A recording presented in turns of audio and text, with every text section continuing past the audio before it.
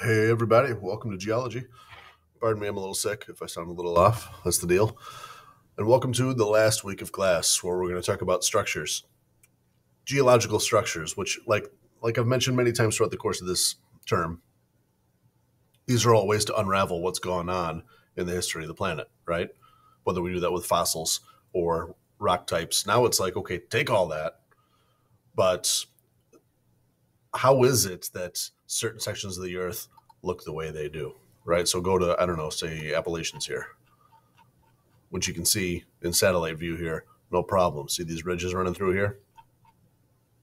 What is it about what happened in Earth's history in the past that made the the Earth look the way it does here? How can we unwind that and figure it out? Or take like, I know we brought up the sentence before. Uh, what John McPhee, I think it is. How is it that the highest elevations on Earth are composed of rock that form below sea level? So what has gone on? And it, it uses a lot of what we learned this year. It may feel like a bit of a jump. This may feel like it should have been part of tectonics, but it's also like if you don't talk about rock types and the history of the planet and tectonics and all that first, it's it's a little tricky to talk about. Plus, it can be good review for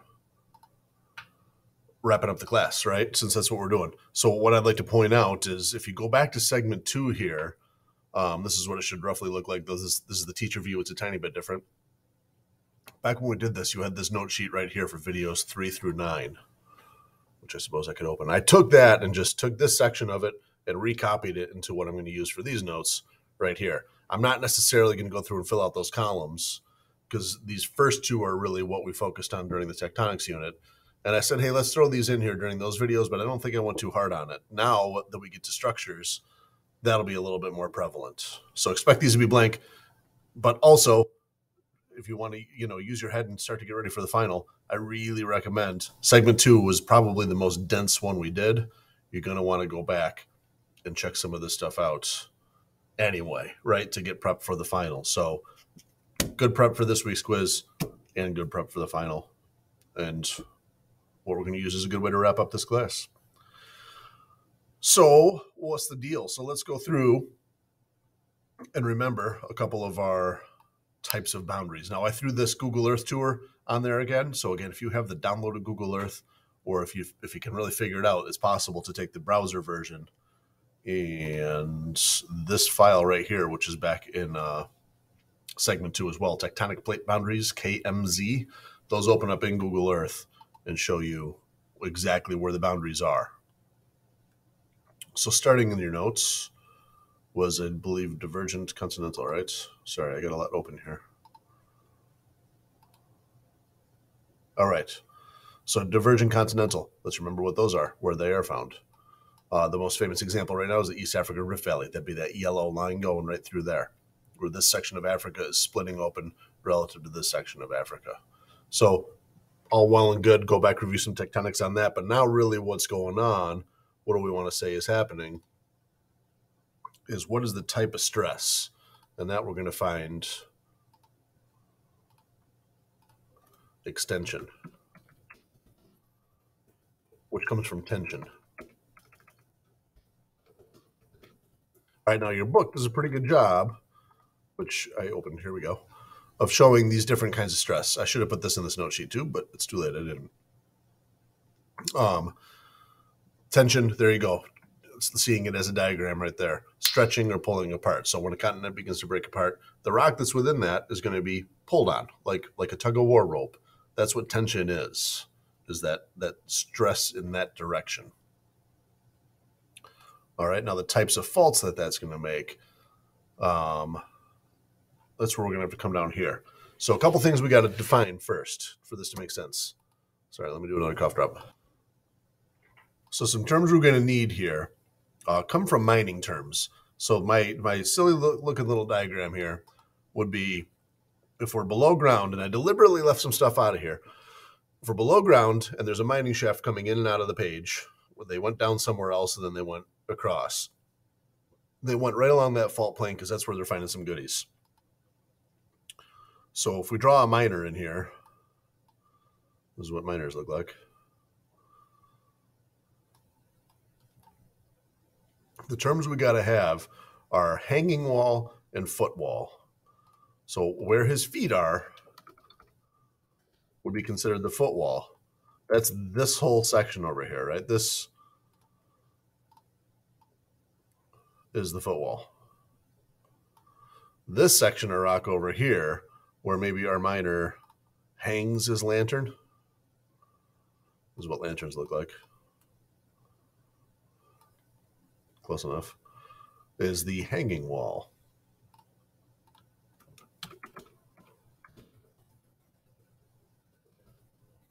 Now, this diagram is drawn generically enough where, and again, it's all this rock. So this whole section up here is the hanging wall. This whole section down here is the footwall.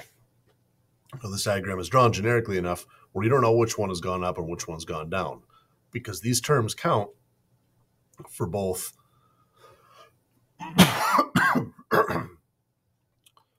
for sorry guys excuse me. All right apologies again. Um so i didn't put the arrows on there because these terms both hanging wall and footwall apply whether it's this kind of fault or this kind of fault and that is initially while you're learning this always been a challenge for students to learn myself included back in the day because what i think I don't know, maybe I'm just myself. What I attached to was like looking at this going down relative to up, this going up relative to down, but it was hard to see the deal with what the hanging wall is and what the footwall is. So when you've got a, a fault that's at an angle, whatever the one on top of that is, where a miner would hang his lantern, her lantern, their lantern, would be the hanging wall, and the one below the angle of that fault is the footwall. So now and again, I may have thrown this out there when we did tectonics, but we're getting a little bit more into it now, where we have extension or tension in the crust, which happens at these places, blah, blah, blah. Um, what you have here is that the hanging wall is dropping down relative to the footwall. Quick fast forward preview the opposite over here, when it's compression, is going to be that the hanging wall is rising up relative to the footwall look at those diagrams back and forth like 10 times until you spot that difference. And I, there will be questions on both tests, which will be an example of one, and you got to tell me what it looks like a black diagram like this, or maybe a real life picture. Okay. So these are called normal faults. And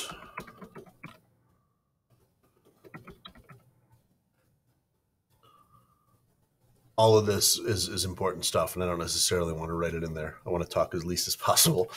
Um, but this is all important stuff. What happens size wise, and in one of the future videos, we'll look at what this looks like with rocks when there's uh, it's it's been extended. It now takes up more space. The width before to the width after is now bigger, and you'll want to note, like in words, that the hanging wall moves down relative to the footwall. If you're a note taker, some people do these, some people don't I'd, I'd consider writing that stuff right in there. Okay. Excellent. Let's go back to Google Earth and and really like okay, so th- we got divergent on land here, and if these open up enough, uh, the sea will begin to invade, and that's how we get these narrow seas here.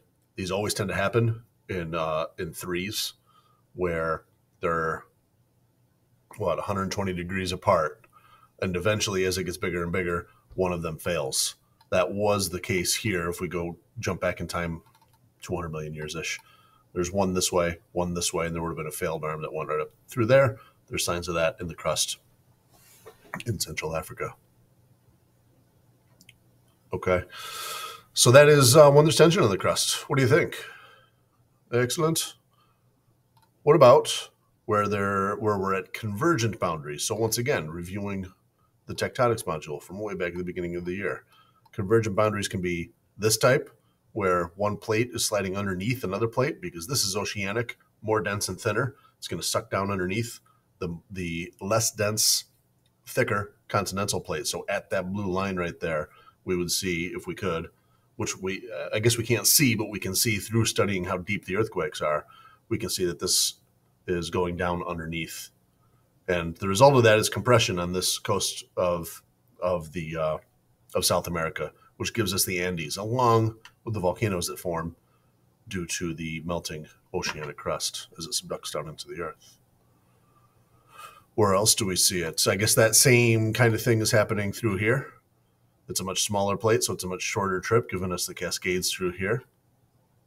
Um, then we've got oceanic oceanic. Here's an oceanic plate, and it's subducting underneath another oceanic plate, and pretty much doing the same thing as it was back there at that blue line, sucking down into the earth and giving us this volcanic island arc, which we call the Aleutian Islands off of Alaska. Or we looked at this section right over here through Tonga, um, where we get the Tonga Trench right here and an island arc forming right behind it. Still compression, right? Still plates moving together. And lastly, and probably the easiest to look at like structurally in terms of finding these kinds of faults, because it just because it's above the ocean, um, we'd have the Himalaya Mountains, where India has been in a car wreck with Asia for tens of millions of years, and all of this crust has gotten mashed up, uplifted up into the up into the air. Now that's an oversimplification of a whole lot of geology, right? But today's mission is really to say like, okay, we did all that stuff, we did all that stuff. Now what are we getting for stress? This is where we're seeing compression.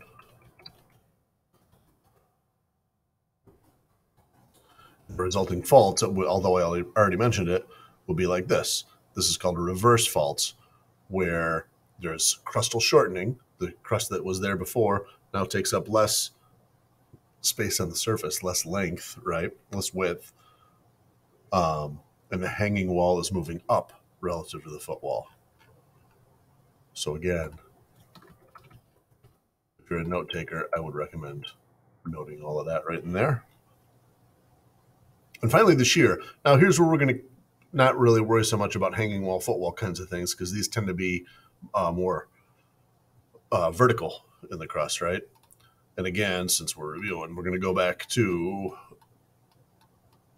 arguably the most famous of these transform plate boundaries, which runs right through the coast of California with all of its major cities right near it, many of its major cities right near it. The San Andreas, where we've got this chunk of California heading up that way relative to this chunk of California.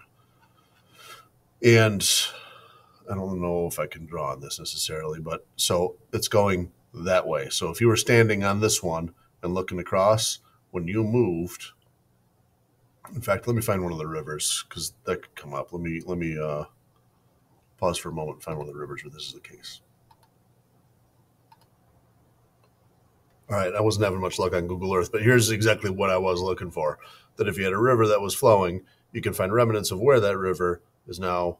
The old path is over here, indicating that the crust has gone that way, right? And then the current path is a new one right there. So if you were if you were here when this was one intact river and you were standing on this side, where did that river go?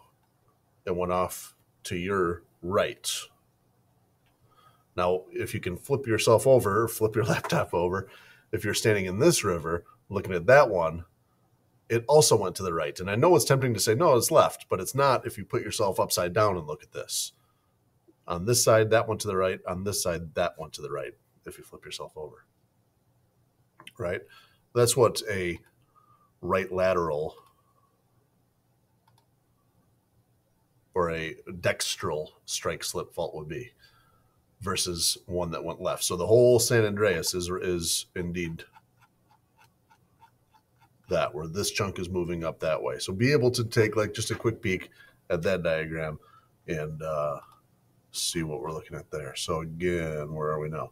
With transform, the type of stress that gets put on the on the crust, it's not coming together, it's not going apart, it's sliding past each other, which we're going to call uh, shearing uh, or a shear shear stress, which gives us these strike slips. And again, it will be up to you to see the difference between the right lateral or left lateral. Just picture yourself standing there with the front standing on the other side, and either way you look, they will have gone to one person's left or one person's right. And dextral, I don't know if you know, like old school, like they used to think that people were right-handed were skillful and dexterous, and left-handed people were sinister and evil. These are kind of like Latin root shout outs to those misinformed thoughts. All right. And then the last thing, let's just pop back to the book and look at, if I didn't lose it, there we go. Look back at these just because I didn't come back to it after the tension one. So the spreading, the tension, the compression, squeezing together, and then the shear um, going that way. And again, this this little section of the reading is great. Check it out in 12, 13.1. Um, it's not that all the other forces are absent. I mean, there's still this this rock would still be being crushed underneath a whole bunch of other rock, right?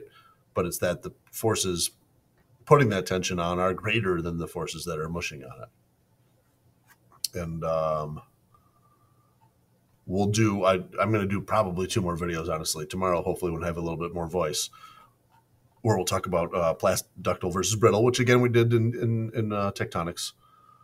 Um, and some examples of that. So let's call that good for now.